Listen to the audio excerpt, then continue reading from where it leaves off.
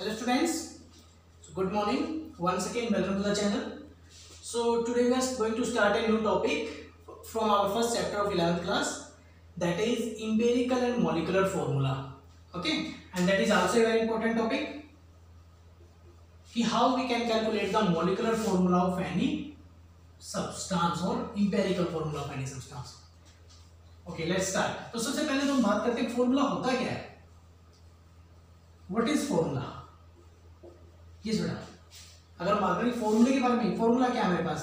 Formula क्या है? हमारा सिंबॉलिक रिप्रेजेंटेशन है। Symbolic representation which tells which tells the number of kinds of atom? Atoms present in any molecule. है ना? कि एक सिंबॉलिक रिप्रेजेंटेशन है कि किसी भी मॉलिक्यूल में कितने टाइप्स के एटम प्रेजेंट हैं। That is formula but formula we can represent in two ways first is our empirical formula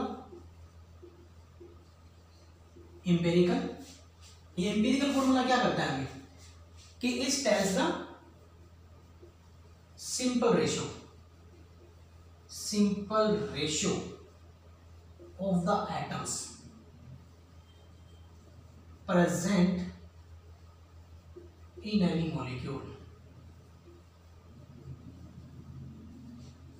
simple ratio के बारे में बताते हैं और ये सेकेंड हमारा क्या है? मोलिकुलर फॉर्मूला ये क्या बताता है हमें? ये हमें एग्जैक्ट नंबर के बारे में बताता है। एग्जैक्ट नंबर ऑफ़ एटम्स ठीक है? Present in any formula that means ये हमें सिंपल नंबर रेशियो के बारे में बताता है और ये हमें एग्जैक्ट नंबर ऑफ़ एटम्स के बारे में बताता है। अगर हम एग्जांपल लें तो एग्जांपल से ज़्यादा क्लियर हो जाएगा। देखिए if I ask the question कि what is the formula of glucose सभी बच्चों को पता होता है है ना? नाइन्थ क्लास से सुनना शुरू कर देते हैं। इन ग्लूकोज का फॉर्मूला क्या हमारे पास? That is C six S twelve O six but अगर सी सिक्स में एस ट्वेल्व ओ सिक्स में इस फॉर्मूले में से क्या करूँ मैं? आपको सामने क्या देगा सिक्स को कॉमन ले सकते हैं। ले सकते हैं ना? अगर सिक्स को कॉमन ले लिया जाए तो क्या बन जाएगा? C one H two O one बना ना? सो दैट मीन्स ग्लूकोज के फॉर्मूले में क्या पता चल रहा है कि total six carbon are present twelve hydrogen are present and six oxygen are present so that means this is our molecular formula. ये हमारा molecular formula है। And the simple ratio of the atom, that is our empirical formula. Okay? तो ये तो हुई हमारी definition कि empirical formula और मोलिकुलर फॉर्मूला में डेफिनेशन क्या है? इंपेरिकल फॉर्मूला में सिंपल रेशियो बताता है ओके? और मोलिकुलर फॉर्मूला में एग्जैक्ट नंबर ऑफ़ एटम्स बताता है कि उस formula total number of atoms कितने हैं? कार्बन के जैसे इसमें छः हैं हाइड्रोजन के बारह हैं ऑक्सीजन के सिक्स हैं। तो इससे एग्जैक्ट नंबर पता लग गया। तो ऑब्वियसली इनके बीच में कुछ तो रिलेशनशिप होगी ओके तो हमारा नेक्स्ट पॉइंट है कि what is the relationship between molecular and empirical formula molecular और इंपेरिकल फॉर्मूले में फिर रिलेशनशिप क्या है? देखिए तो चलिए रिलेशनशिप की बात करते हैं कि what is the relationship between these two relationship क्या रहती है बेटा? रिलेशनशिप रहती है हमारे पास कि molecular formula molecular formula is equal to n into empirical formula. ये रिलेशनशिप होते हैं हमारी। ओके कि molecular formula is equal to N into empirical formula अब एन क्या है यहाँ पर? एन क्या है? Number of atoms number of atoms और एन की वैल्यू निकालेंगे कैसे? पता कैसे चलेगा? एन की वैल्यू कैसे निकालेंगे? Molecular formula mass divide by empirical formula mass empirical formula mass ये हमारे पास है एन की वैल्यू दैट मीन्स हमें पहले इंपेरिकल फॉर्मूला चाहिए। जब हमें इंपेरिकल फॉर्मूला निकल जाएगा तो हम उसका मास भी कैलकुलेट कर सकते हैं। मॉलिकुलर मास हमेशा क्वेश्चन में हमेशा गिवन होगा। ओके तो चलिए अब हम बात करते हैं कि इंपीरिकल फॉर्मूला कैसे निकालते हैं। इंपीरिकल फॉर्मूले के लिए हमें क्या क्या करना पड़ता है? यस yes, तो इंपीरिकल फॉर्मूला निकालने के लिए हमारे पास हमें क्या करना पड़ता है? हमारे पास कुछ स्टेप्स होते हैं। इंपेरिकल फॉर्मूला निकालने के लिए। Okay okay? क्या स्टेप होते हैं? देखिए स्टेप की बात करते हैं। टेबल की फॉर्म में स्टेप बनाते हैं कुछ। पहला स्टेप होता है हमारे पास कि write down the symbol of the elements symbol कि उस क्वेश्चन में जो हमें न्यूमेरिकल क्वेश्चन पूछा गया, उसमें दो जो एलिमेंट दिए गए, उनको सिंबल लिख दो पहले। Then write the percentage of the elements percentage in gram percentage को ग्राम में कन्वर्ट करके लिख दो। कि जो भी एलिमेंट की परसेंटेज दी गई है, उनको ग्राम में कन्वर्ट करके लिख देते हैं। Then write the molar mass या एटॉमिक मास जिसको बोलते हो एलिमेंट एटॉमिक मास या मोलर मास जो बोलते हैं, वो निकलता है एलिमेंट का पता होना चाहिए हमें। Then we have to write number of moles. Number of moles calculate करने पड़ेंगे हमें। Okay and then simple ratio and फिर होल रेशियो सिंपल रेशियो में क्या करेंगे हम? कि divide by the smallest digit divide by smallest percent सबसे छोटी वैल्यू जो आएगी उससे डिवाइड कर दो उसको। और होल नंबर में कब कन्वर्ट करेंगे? जब हमारी कोई रेशियो में, को यहाँ से हम जब ने सोल्व किया, और जो हमारा आंसर है वो बाई चांस क्या आ रहा है? फ्रैक्शन में आ रहा है। पॉइंट्स में आ रहा है। तो उन पॉइंट्स को हमें हटाने के लिए राउंड ऑफ़ करते हैं। राउंड ऑफ़ को क्या बोल रहे हैं? होल नंबर रेशियो ओके तो चलिए, इसके ऊपर हम एग्जांपल लेते हैं। एग्जांपल से और ज़्यादा क्लियर हो गई ये चीज़। देखिए। एग्जांपल की बात करते हैं। ठीक है, एक एग्ज़ाम्पल उठा लेता हूँ मैं। Calculate the molecular formula of the compound molecular formula and empirical formula कि calculate the molecular formula molecular and empirical formula of a compound ठीक है कंटेनिंग क्या क्या है उसके अंदर? Containing 4.07 percent hydrogen okay 24.27 percent carbon and 71.65 percent chlorine if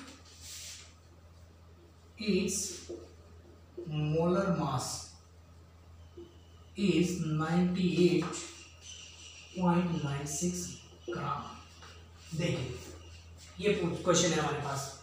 क्या कह रहे हैं इसमें इंपेरिकल फॉर्मूला भी बताना है और मोलिकुलर फॉर्मूला भी बताना है। तो इसका हमें टेबल बनानी पड़ेगी पहले। यस टेबल बनानी पड़ेगी ना?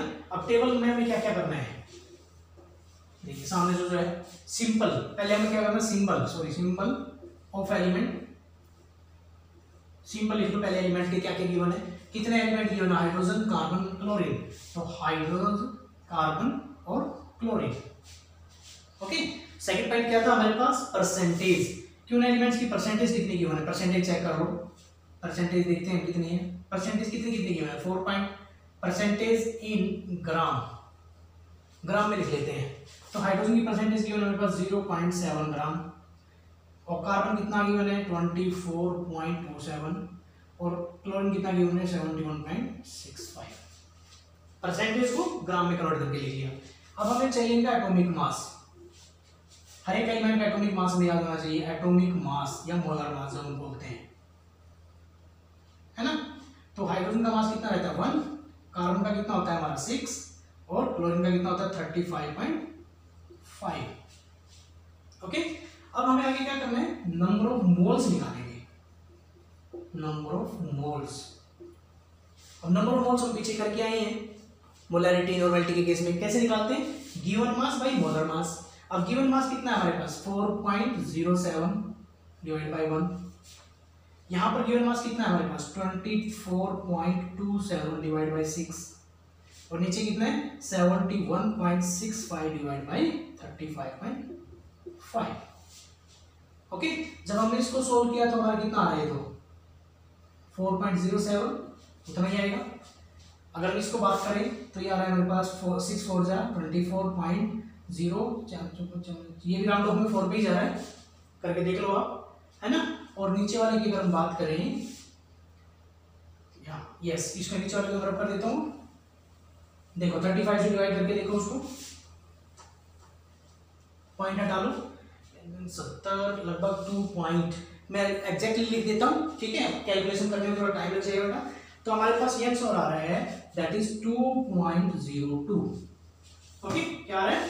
Two point zero two sorry carbon हाँ कार हाइड्रोजन कार्बन का carbon atomic number sorry mass number लेना है तो ट्वेल्व कार्बन का मास कितना होता है बारह तो बारह, अब तो हमें तो मास नंबर लेना था ना एटॉमिक नंबर ले लिया हमने।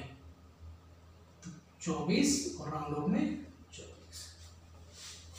ठीक है? यहाँ पे भी लगभग सेम वैल्यू वाली आप कैलकुलेट करके देख लेना, और यहाँ पे हमारी सेम वैल्यू तो मतलब छोटी वैल्यू क्या है तीनों में? इन तीनों में सबसे छोटी वैल्यू क्या है? छोटी तो यही बन रही है ना? तो क्या करते हैं? सिंपल रेशियो निकालते हैं।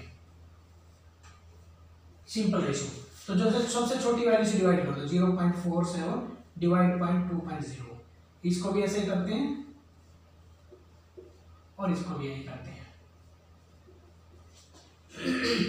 इसको आप करोगे तो राउंड ऑफ़ कितना आ रहा है? देखोगे आप करके। दो ही आ रहा है लगभग, करके देख लो चाहिए आप यहाँ पे कितना आ रहा है हमारे पास? वन इस पे कितना आ रहा है? वन तो दैट मीन्स हमारी जो सिंपल रेशियो है, वो फुल आ गई। कंप्लीट आ गई। कोई पॉइंटों में नहीं आई। हमें अगर पॉइंट में आती तो हमें राउंड ऑफ़ करना पड़ता। है ना? मान लिया बाई चांस यहाँ पे आ जाती है हमारे पास वन पॉइंट फोर यहाँ पे आ जाती है हमारे पास वन पॉइंट थ्री ऊपर आ जाती है हमारे पास टू पॉइंट टू तब हमें देखना था फिर इनका क्या करें? इनको डबल करें, इनका पॉइंट हटाएँ। अब टू पॉइंट के बाद टू है। फाइव से नीचे वैल्यू है, इसको छोड़ सकते हैं। फाइव के बाद छोटी वैल्यू इसको भी छोड़ सकते हैं। इसको भी छोड़ सकते हैं। एज इट इज़ भी लिख सकते हैं इनको वापस। है ना? अगर बाई चांस हो जाती फाइव तो नहीं छोड़ सकते थे हम। तो हमें राउंड ऑफ़ ही करना पड़ता। अंडरस्टैंड तो हमें इनको राउंड ऑफ़ करना पड़ता, इसको करना पड़ता हमें फोर पॉइंट फोर इसको लेना पड़ता हमें थ्री और इसको लेना पड़ता one point six yes double करना पड़ता फिर हमें। ओके आ रहा है समझ में? तो ये था राउंड ऑफ़ का तरीका। तो अब हमारी सिंपल रेशियो यही है तो यही हमारी होल रेशियो हो जाएगी। तो टू वन वन तो यहाँ पे हमारा ये आ गया इंपेरिकल फॉर्मूला तैयार हो गया हमारा ये क्या बन गई? इंपेरिकल फॉर्मूला इसमें कार्बन कितना है? हाइड्रोजन कितने हैं? दो. कार्बन कितना है? एक. और क्लोरीन कितना है? एक.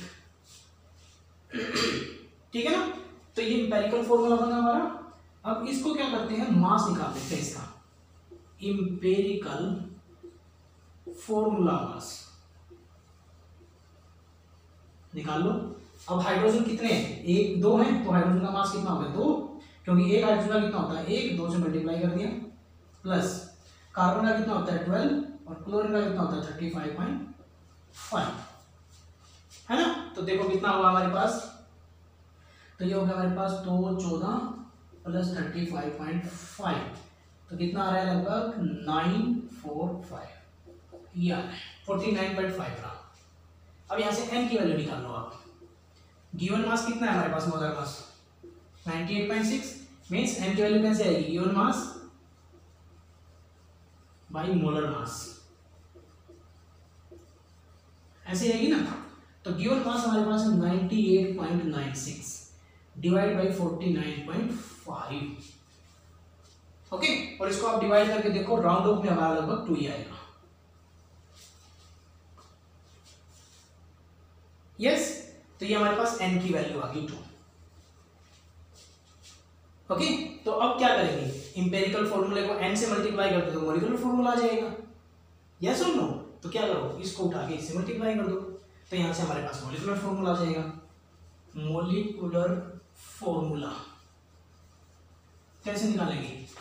N into empirical formula that means two into H H two C C क्योंकि एक एक छोड़ दिया मैंने। तो ये बन गया हमारे पास, उसको लिखो तो मैं C two H four C L ये फॉर्मूला तैयार हो गया हमारे पास। अंडरस्टैंड तो इस तरीके से हमें पहले टेबल याद रखनी पड़ेगी। टेबल में क्या क्या पॉइंट डालने हैं? Symbol percentage in gram okay atomic mass number of moles calculate करने हैं। फिर नंबर ऑफ़ मोल कैलकुलेट कर देना जो सबसे छोटी वैल्यू आएगी, इसमें दो वैल्यू इक्वल आ गई तो इसमें कोई दिक्कत नहीं हुई। जो सबसे छोटी आएगी मान लीजिए यहाँ पर कुछ और वैल्यू होती है, यहाँ पे बाई चांस यहाँ पे हमारा होता है two point two three sir सबसे छोटी तो यही थी ना तो फिर इससे तीनों को डिवाइड कर देते। अब ये दोनों वैल्यू सेम आ गई। तो वैसे है तो सबसे छोटी यही तो इसको तीनों को एक से डिवाइड कर दिया इससे। तो ये आ गई हमारे पास सिंपल रेशियो अब सिंपल रेशियो हमारी एग्जैक्ट नंबर में आ गई तो हमें वही हमारी होल नंबर में चली गई। अगर सिंपल रेशो आ जाती पॉइंट्स में तो होल नंबर में जाने के लिए हमें उसको या तो डबल करना पड़ता, या फिर हमें राउंड ऑफ़ करके देखते पॉइंट में क्या क्या छोड़ सकते हैं, क्या रख सकते हैं। यस अंडरस्टैंड तो आई होप आई होप बेटा समझ में आया होगा? ओके तो ऐसे ही इस टॉपिक के ऊपर हम बहुत सारे क्वेश्चंस कर सकते हैं। ये तो हमने एक एग्जांपल लिया है छोटा सा। So now we have to practice some questions on this topic, two or three questions, then it will be very clear in mind. Because this is a mathematical portion this is a mathematical topic तो जितना हम practice करेंगे, उतना ज़्यादा ये होगा। Okay and बहुत important topic है आपका एग्ज़ाम में बड़े मार्क्स में पूछा जाता है हमें। Three marks four marks understand okay